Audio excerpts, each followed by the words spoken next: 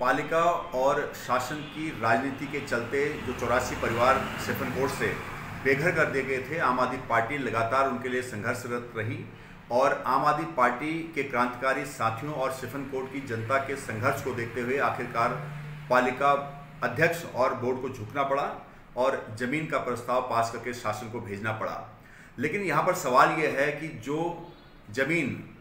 Chiffon court की जनता के लिए दी जा रही है, क्या वो पर्याप्त है,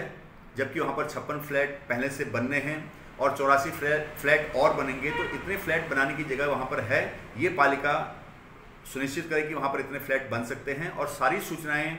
सार्वजनिक करें कि कितने लोगों को वहाँ पर विस्थापित किया जाएगा, कब तक किया जाएगा और कितनी ज़मीन सिफन कोर्ट की जनता को दी गई है। और मेरा विधायक से भी अनुरोध है कि जो कह रहे थे कि अगर पालिका ज़मीन चिन्हित कर देती है तो मैं दूसरे दिन से वहाँ पर अस्थायी निवास के लिए कार्य प्रारंभ कर दूँगा।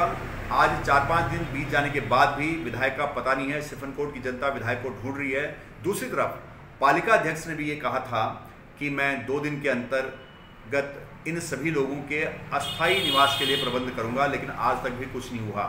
तो जनता जानना चाहती है कि उनका भविष्य क्या है और ये कब तक वहाँ पर पूर्णतः विस्थापित हो जाएँगे। इसके, इसका रोड मैप पालिका और शासन को सिफन कोर्ट की जनता के सामने रखना चाहिए, ये आम आदमी पार्टी की मांग है।